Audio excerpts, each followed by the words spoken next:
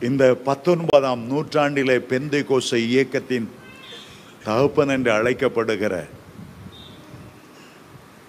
Smith விகில்ஸ்வர்த் என்ற பக்தன் அவருடைய ஊழியத்தில் இருபத்தி மூணு பேரை அவர் உயிரோடு எழுப்பினார். மறித்து போகிறவருடைய காதில் வந்து இயேசு இயேசு என்று சொல்லுவார். அவருக்குள்ள விசுவாசம் வரும்போது இயேசுவின் நாமத்தில் எழும்புவாயாக ஒரு மனிதனை உயிரோடு எழுப்புகிற காட்சியை ஒரு பழைய வீடியோவில் நான் பார்த்தேன். அவர் பிரசங்கம் எழு பண்ணுகிற இடத்துக்கு அவனை கொண்டு வந்து வைத்திருந்தார்கள். அவரை அவனை தூக்கி நிறுத்தி சுவர் பக்கமாய் நிறுத்தி நட என்று சொன்னார். அப்படியே சரீரம் கீழே விழுந்தது. அவன் நடக்கவில்லை.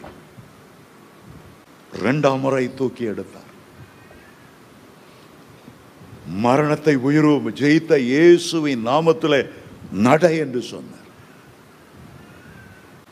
அவன் நடக்கவில்லை. இந்த பிரேதம் அப்படியே கீழே விழுந்தது.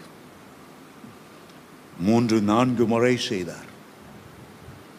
அவருக்குள்ளே ஒரு பலத்த விசுவாசம் வந்தது.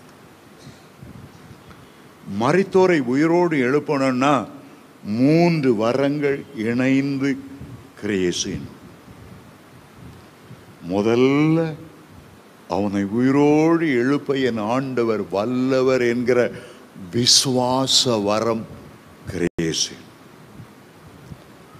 அவனுடைய உரை அவனுடைய ரத்தம் உறைந்து கட்டி அழுக ஆரம்பித்து விட்டதால் அற்புதம் செய்கிற வல்லமை அந்த சக்தி அவருக்குள் கிரியே செய்யணும்.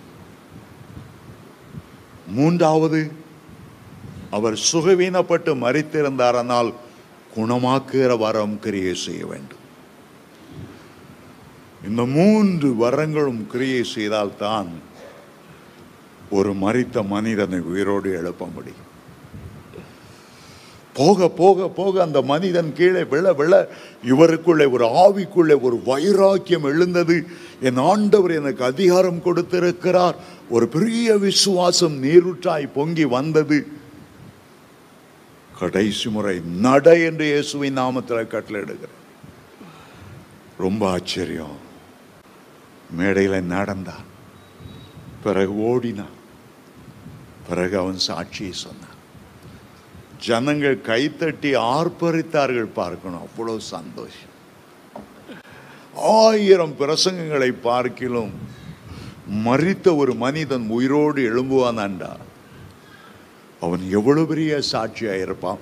எத்தனை புறஜாதி மக்கள் ஆண்டவர் அண்டை வருவார்கள். ஆண்டவர் உயிரோடு எழுந்த லாசுருவை பற்றி வேதம் சொல்லுகிறது. இயேசுவை பார்க்கணும்னு வந்தவங்க லாசருவையும் பார்க்கணும்னு ஆசைப்பட்டாங்களா? இயேசுவை பார்க்கணும்னு வந்தவங்கெல்லாம் லாசருவையும் பார்க்கணும்னு ஆசைப்பட்டாங்க இந்த கடைசி காலத்தில் ஒரு பெரிய பின்மாறி வளை மழை பெய்ய போகிறது ஒரு சாதாரண மனுஷனும் மறித்தவர்களை உயிர்ப்பிக்கக்கூடிய வல்லமை ஆண்டவர் கொடுக்க விரும்புகிறார்.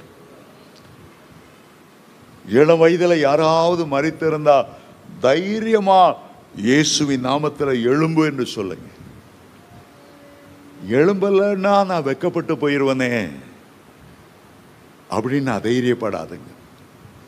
முயற்சி பார்க்கறதுல நீங்க ஒன்றும் குறைந்து போகிறதில்ல. ஆனால் அதுக்காக நல்லா ஜோமன்னு நீ அவன் உயிரோட எழும்பிட்டான்னு வைத்துக் கொள்ளுங்க. அப்ப எவ்வளவு பேருடைய விசுவாசம் உறுதிப்படும் எவ்வளவு மக்கள் ஆண்டவராண்டை வருவார்கள். இல்லை எழுப்புறதுக்கு பயமா இருக்கு. ஆண்டவர் அதுக்கு அதிகாரம் கொடுத்துருக்கிறார். ஒரு தடவை ட்ரை பண்ணி பாருங்க முடியலன்னா பரவாயில்ல. அடுத்த தடவை ட்ரை பண்ணுங்க முடியலன்னா பரவாயில்ல. ஆனால் ஒரு நேரம் வரும். கர்த்தர் உங்களை பயன்படுத்தி மறித்தவர்களை உயிரோடு எழுப்புவார்.